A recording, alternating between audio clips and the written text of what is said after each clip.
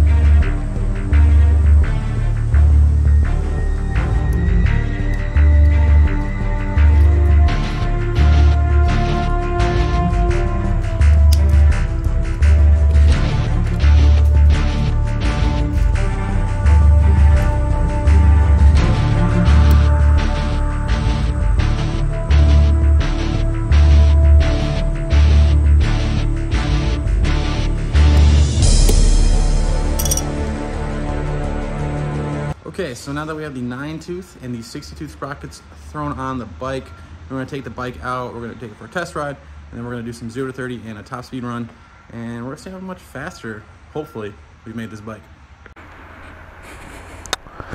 Alrighty.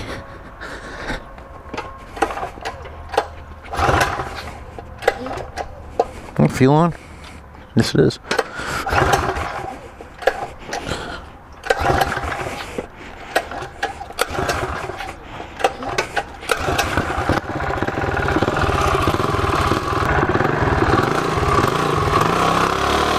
Oh my god.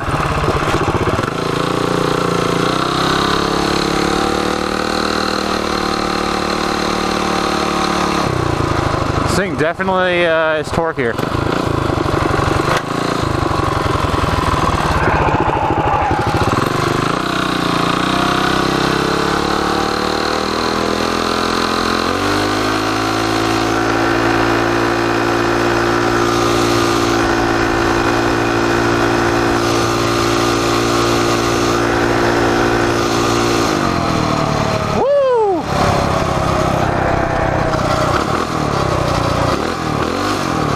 Definitely feels faster.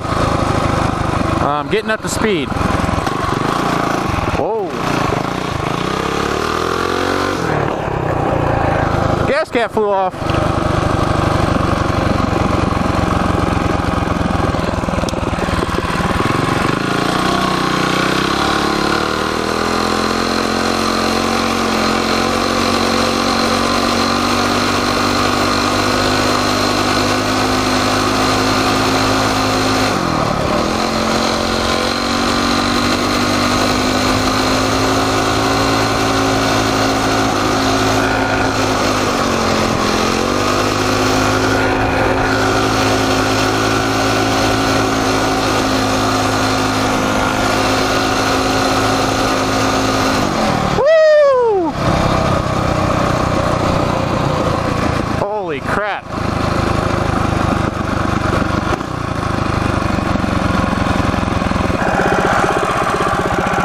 0 to 30, 6.66 gear ratio, test one.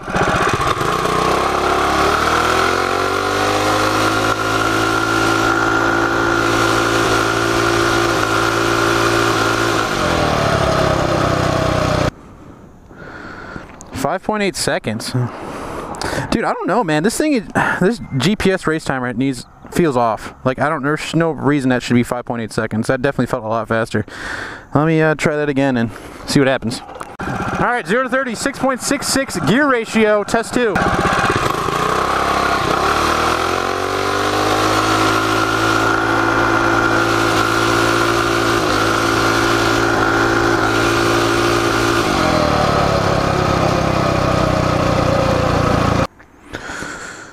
3.8 seconds. That is more like it. That's definitely what it felt like. 3.8 seconds. I'm going to go with that. That's definitely a big jump.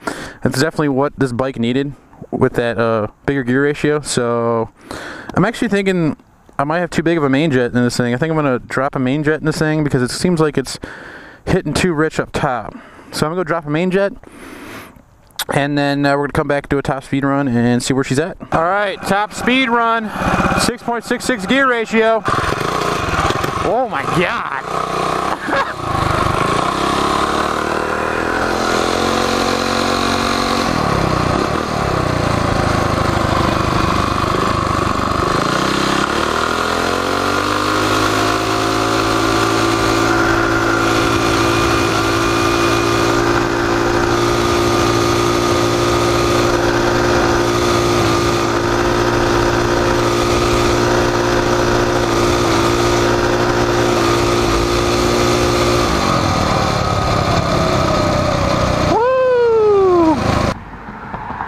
Forty-eight point two eight. So I lost two mile an hour. So we gained a lot of acceleration. We dropped our 0 to 30 time to 3.8 seconds, but we lost 2 mile an hour. We dropped down to 48 miles an hour, even though I went from 6,600 RPM to 7,000 RPM uh, maxing out. Um, I know that, you know, the shorter gear you go, the less top speed you're gonna get, but uh, the more acceleration you get. But I figured I would at least stay the same or relatively the same with the mile an hour, not lose two mile an hour. but I mean, that's okay. We're gonna be adding more RPM to this engine later on down the line.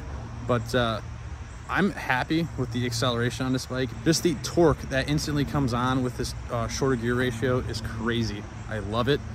I will take the two mile an hour loss for all this extra torque. Um, um, don't forget to like the video, um, comment uh, what's what's the shortest gear ratio you run on your bikes with 19 inch tall tires. Um, a lot of people say six to one's pretty much like the sweet spot for like 19 inch tall tires, but some people run a four to one, stock gear ratio, whatever. Um, don't forget to subscribe and click the notification bell to get notified of my next video. And until next time, guys, peace.